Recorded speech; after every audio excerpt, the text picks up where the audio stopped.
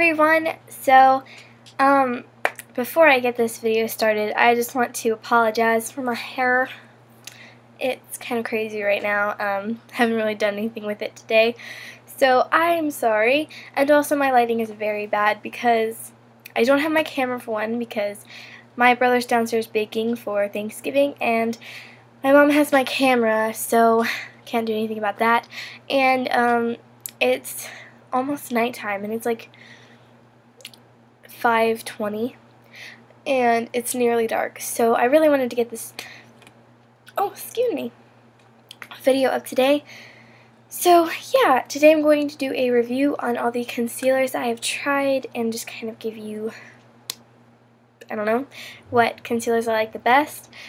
So one of the concealers I don't, uh, one of the concealers I don't have here with me anymore, I actually gave it away, but I will review that too. Um, so these are my concealers.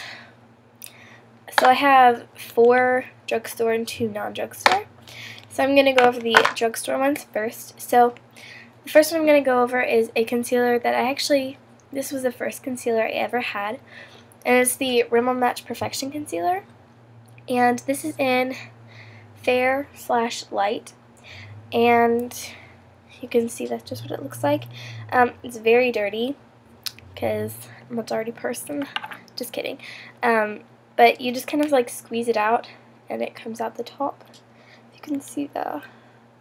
But yeah, it's just like a little brush tip. And there's like nothing left of this, so I'm like rubbing it as hard as I can on here. But that's what it looks like. And what I love about this concealer is that it has like, I don't know, it it's supposed to like match your skin. So like when you put it on, at first it doesn't look the same color, and then like it just kind of all of a sudden will like blend into your skin, and it's crazy. Um, it's six dollars, and you get 23 fluid ounces, or seven milliliters. So that's pretty awesome. And it costs six dollars. Did I already say that? I don't know. Um, and it's probably my favorite under eye concealer I've ever used. I need to get a new one, but yeah, you can see it just used. this is like completely gone. So yeah, that's that. Um, next concealer is the Maybelline Fit Me Concealer. And you can see I haven't used this in a while because it's like, the product has like fallen onto its side because it's been in my drawer for a long time and on its side. So this concealer, I have to say, I don't really like it. For one, I'm very pale if you can't tell, and this is a dark color, and it's the lightest shade that they have. And um, it's very liquidy, and it doesn't have that much coverage. Um, there it is right there. And when I try to like blend it in, you can see it just kind of leaves a, a mark. So it's too dark for me, and if you can tell, I've kind of got some allergies, sorry. Um, it's just not a good concealer. It leave, it left, it leave, it left like a grayish circle around my eye, and it just was not, not the best concealer. So I have to say this isn't my favorite. And it's $8 I believe, and it has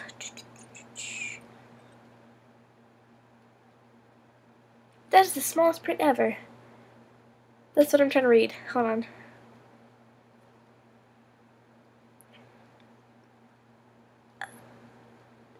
Two, eight, 6.8 milliliters. There you go.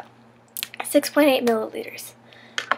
So that's that. Next is an under eye concealer, and this is from e.l.f. So this costs $3, their studio line. And it has a highlighting side, which this is awful. Let me just tell you, girl, it's not good. Um, it basically is sparkles, and it just leaves like this milky stain. It's not, it's not nice looking. There is a fly. Mm. There's like two of them. Um, okay, sorry. But yeah, it's just pretty much straight up sparkles. And I don't really like that. But the concealer, there it is. this is in the shade Fair.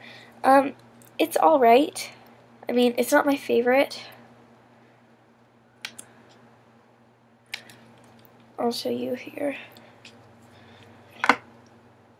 This, surprisingly, is a little bit light for me. Which is surprising, right? You'd think nothing would be too white for this pale child, but no, um, it just kind of ashes out my under eye area. It doesn't necessarily brighten it, it just kind of leaves this kind of bad ashy look. Ashy. So, not really big on this. You get, it doesn't say, I don't know how much product you get, but obviously not near as much as you get there, so that's that. Next is the e.l.f. Maximum Coverage Concealer, which this is actually pretty good. It's $3. Um, my tinted moisturizer is over there, but it pretty much has the same packaging as the tinted moisturizer, only it's not as long. And it has 20 milliliters, so a lot more than this concealer. This has 7. So this is 13 more milliliters than this one, so that's really good. Um, and it's half the price. Um, it's supposed to be able to cover tattoos and all that stuff, and the consistency is like pretty thick, and it has pretty good coverage. Um, I find it takes a couple of layers to actually cover blemish though, and still it didn't really cover it. If you can see, I have like one on my nose right there, and I put a couple of coats on it. It still wasn't fully covered, so I used a different concealer, which you'll see in a second. But um, I tend to use this on my under eyes just because the rest of my concealers are either empty or not good. So this is my favorite um, concealer. Wow. That's sad. I, I'm not even big on this one. It's my favorite drugstore concealer. So, yeah. That's $3 and yeah, it's pretty good. So next is Benefit Concealer and this is Boing. Excuse me. This is in medium so it does not suit me. It's not a good shade for me at all. Uh, I haven't tried the lighter one but I have to say even the medium one is really nice. It has a like great texture and everything. In the dark it blends in with my skin, but in the light it makes my skin look muddy. there it is. I don't know if you can see it. My lighting's kind of bright and everything, but yeah, it blends in really nicely and it has good coverage and everything. It's just too dark. I need to get the one that's lighter, but it's medium because I got it in this duo thing, so you can get that at Ulta. If you're medium skin tone, buy this because it's like 12 bucks and it's good. Now time for my favorite favorite concealer ever. And this is the Bare Minerals. I think it's called the Multitasking Concealer. I don't know. Something like that. Something along the lines of like multitasking. But I got this in the Try Believe Love set and it's just a small little super cute concealer. Um, and it came with like a brush and then like foundation and stuff. But this is so good. I love this for, I put it like right there on my under eyes. And it's so good. And I'll just kind of try to swatch it for you. Um, a little bit goes a very long way. But it just, I don't know if you can see it there.